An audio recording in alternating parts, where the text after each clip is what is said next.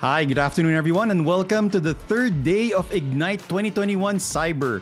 I especially welcome you all to this first session today featuring health and wellness.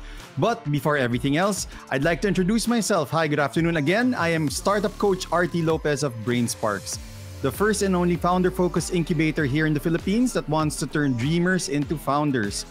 BrainSparks is actually one of three organizations that comprise Team Ignite. So uh, we are together with Dentsu-X and TechShake. And we're very, very happy and I'm honored and privileged to be able to host for you guys here today.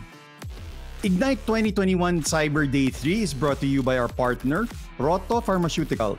Rohto is a manufacturer and marketer of pharmaceutical products, cosmetics, and functional foods.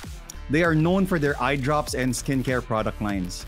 I actually am a, am a very big fan and user of their eye drops, and I think that I'm very, very excited for them to come here to the Philippines. You should be too. So, the emergence of digital health has been driven by the pandemic.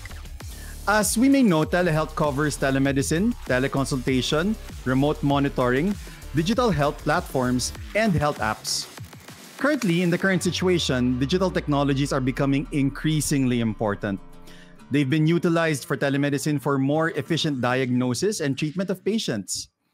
This has also been used in online medical consultations from home, which is becoming very, uh, very popular nowadays. Healthcare supplies have been transformed into digital as well. These are necessary and equally important to everyone in maintaining good and balanced health. So, for today's event, we invited one of the representatives from Rohto to give us an overview of their initiatives in the healthcare system. We also have innovative health tech startups who I'm very excited to introduce later on, that will share their solutions and how their technology are making an impact currently in our situation. So I hope you're as excited as I am, and let's get this going.